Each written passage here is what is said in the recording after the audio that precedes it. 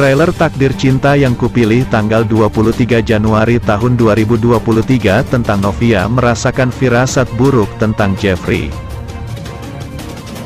Saat itu Jeffrey sedang mencoba untuk mengejar Samsul. Adegan kebut-kebutan pun terjadi. Di saat yang bersamaan, ketika mobil Jeffrey mengalami kecelakaan, Novia merasakan firasat tidak enak. Ia pun langsung memikirkan tentang Jeffrey. Joe juga merasakan firasat yang tidak enak. Ini karena Pak Samsul pun mengalami kecelakaan itu.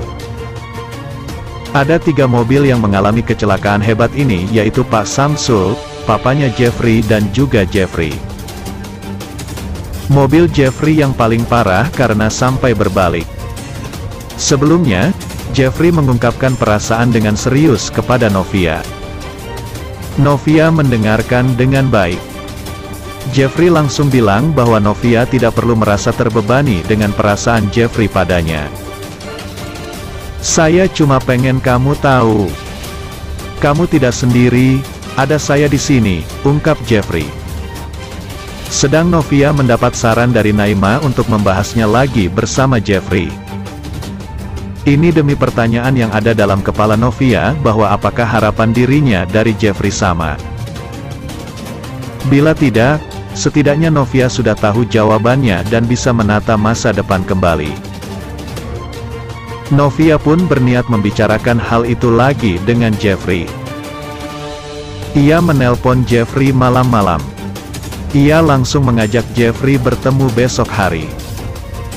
Jeffrey mengiyakan ajakan Novia dan merasa senang. Ia langsung meminta Ben untuk mengosongkan jadwalnya esok hari. Novia berniat untuk menanyakan kepada Jeffrey tentang harapannya demi masa depannya. Sementara itu, mamanya Novia membicarakan soal ngidam dengan papanya Novia. Mamanya bilang bahwa ngidam itu sebenarnya karena seseorang membutuhkan kasih sayang. Meskipun Novia bilang ia kuat dan bisa membesarkan anaknya sendiri, tapi alam bawah sadarnya lah yang meminta agar ia bisa mendapat kasih sayang. Mamanya bilang akan lebih baik bila Novia saat ini memiliki suami. Sementara Yefri mengalami kecelakaan, Novia pun berinisiatif untuk menghubungi Yefri. Lantas keesokan hari Novia dan Yefri untuk janjian di Taman Amarilis pukul 1 siang. Yefri pun mengatakan ajakan Novia. Selanjutnya, Novia resah setelah mengetahui kalau Yefri belum juga datang di Taman Amarilis. Meski demikian, Novia berusaha untuk berpikir positif kalau Yefri sedang sibuk jadi belum sempat datang. Novia menguatkan dirinya untuk berani saat bertemu dengan Yefri. Ia harus mengungkapkan perasaannya demi masa depannya. Novia yang telah lama menunggu berusaha untuk menelepon Yefri, tapi ternyata tidak diangkat Yefri.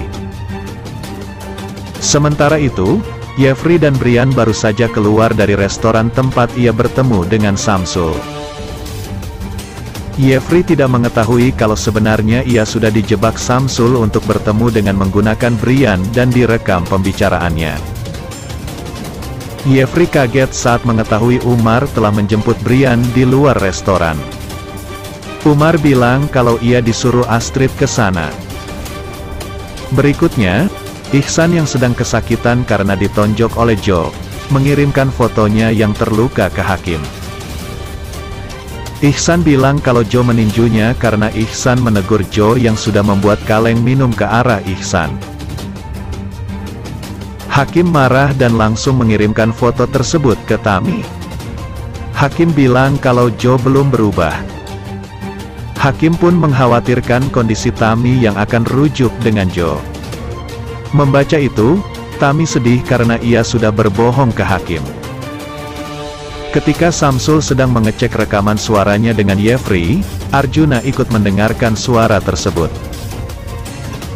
Arjuna langsung paham bahwa Yefri sudah dijebak Samsul. Arjuna bertindak cepat untuk mengambil ponsel Samsul. Samsul segera menghindar dari Arjuna. Ia pun segera lari dari sana dan pergi dengan mobilnya. Arjuna langsung mengejar Samsul. Yefri melihat hal tersebut. Yefri khawatir Arjuna akan bertindak nekat ke Samsul. Terjadi kejar-kejaran antara mobil Samsul, Arjuna, dan Yefri. Samsul kaget saat ada motor yang datang dari arah depan. Akhirnya ia menabrak truk di depannya. Arjuna bisa menghindar dari tabrakan mobil Samsul, tapi mobil Yefri yang berusaha menghindar malah oleng dan terguling. Pada saat kecelakaan tersebut, ponsel Novia mendadak terjatuh dan cangkir yang akan disimpan Astrid jatuh dan pecah. Novia dan Astrid bingung mengapa perasaan mereka sangat tidak enak. Lalu, Arjuna melarikan Yefri yang pingsan ke rumah sakit. Sementara itu, mamanya Novia membicarakan soal ngidam dengan papanya Novia. Mamanya bilang bahwa ngidam itu sebenarnya karena seseorang membutuhkan kasih sayang. Meskipun Novia bilang ia kuat dan bisa membesarkan anaknya sendiri, tapi alam bawah sadarnya lah yang meminta agar ia bisa mendapat kasih sayang. Mamanya bilang akan lebih baik bila Novia saat ini memiliki suami. Bagaimanakah kisah Novia dan Jeffrey selanjutnya? Demikianlah ulasan hari ini yang dapat Bang Mimin sampaikan buat fan-fan penggemar setia dunia entertainment yang baik hati. Jangan sampai terlewatkan fans-fans semuanya. Mohon maaf atas segala kekurangan. Dan terima kasih atas segala perhatiannya. Sampai jumpa di segmen berikutnya. Yuk! Bye bye.